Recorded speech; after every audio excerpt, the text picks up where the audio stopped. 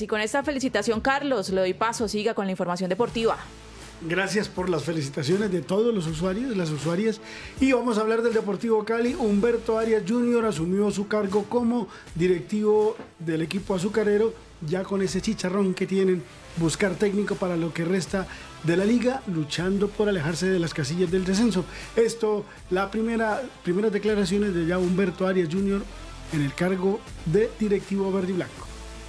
Acabo de llegar, entonces si han, si han hablado de otros técnicos, por lo menos eh, hoy que tuve la oportunidad de estar allá, no se hizo, lo que se hizo fue, presentar al profe Cocho, eh, a los jugadores como el técnico encargado y al preparador físico, Jonathan eh, como preparador físico.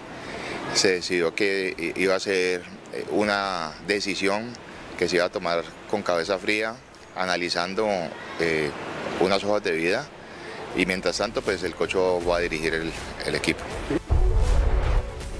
Descartan por ahora en el Deportivo Cali a Lucas González, no se, pues, acoge a lo que es el presupuesto que tiene el equipo verde y blanco.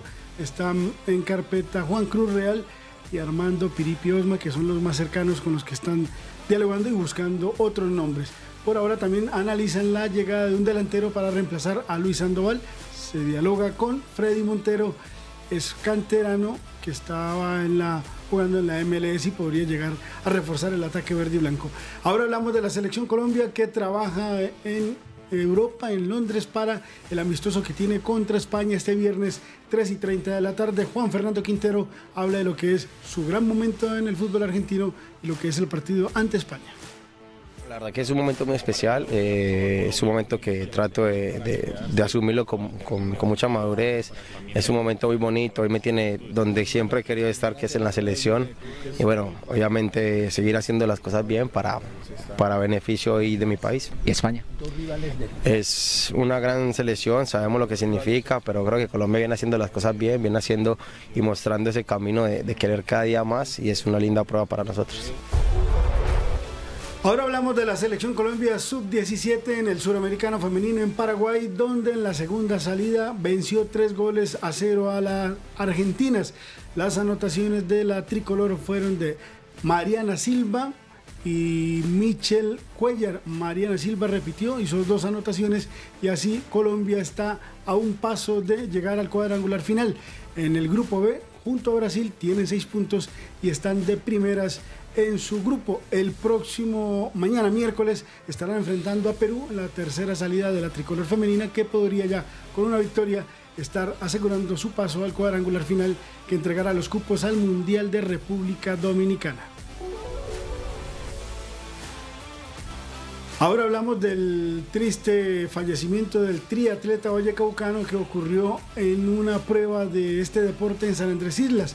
Su esposa ha dicho que en la autopsia dice que fue por ahogamiento y esta es una versión que entrega ella sobre, al parecer, negligencia de la organización. Tengo el testimonio de aproximadamente unos 30, 35 personas que participaron en la, en la competencia, que amablemente me han enviado audios, me han dejado sus contactos, porque este proceso ya tiene caso en la fiscalía, donde me hablan de todo lo que faltó en la competencia, a mi esposo no lo atendió nadie exportiva porque no había nadie en la orilla de la empresa. Eh, tuve la oportunidad de hablar con las personas que lo reanimaron y eran personas eh, aparte de la organización. No había desfibrilador, no había ningún tipo de elementos para poder darle atención. Había un botiquín con cosas para raspaduras, eso era lo único que había. La ambulancia no la trajo exportiva, la gestionaron las personas que estaban ahí la atención a mi esposo. Bueno, esperemos que se esclarezca esta situación, la muerte de este deportista de Andalucía Valle, que las autoridades digan qué fue lo que pasó y pues que quede muy Terrible para su familia, por supuesto, para su esposa. Exacto, entonces, pues una pena que en las competencias deportivas estén haciendo falta estos equipos básicos. Eso es lo mínimo. Desfibrilador. En los estadios, luego de casos que se presentaron, ya es obligación tener este equipamiento para los partidos de fútbol. Esperamos que en los otros deportes también sea obligatorio para evitar estas lamentables situaciones. Y dos, para finalizar, Caterín, se hizo el sorteo de los torneos de la Comeol Si América hubiese pasado, hubiera tocado en la Suramericana con Cruzeiro, Unión La Calera de Chile y Universidad Católica. Esta es Alianza Fútbol Club. Y en la Copa Libertadores, donde antes iban Cali y América, estarán Junior en el grupo E contra Liga Deportiva de Quito, Universitario del Perú y Botafogo y Millonarios en el grupo E contra Flamengo, Bolívar y Palestino de Chile.